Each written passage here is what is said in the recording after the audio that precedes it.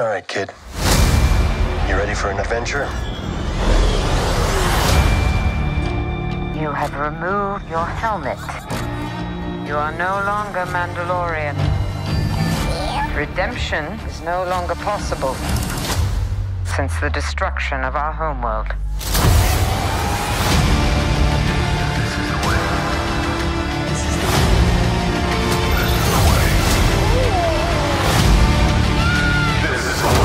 Travels.